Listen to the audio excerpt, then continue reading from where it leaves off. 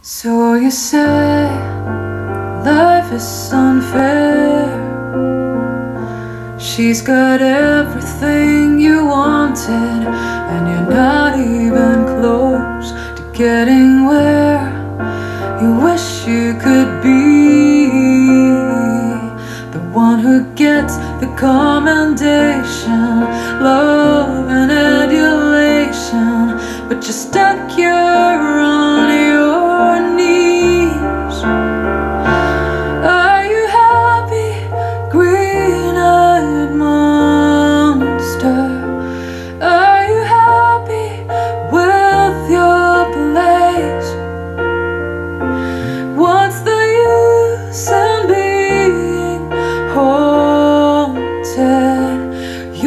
story.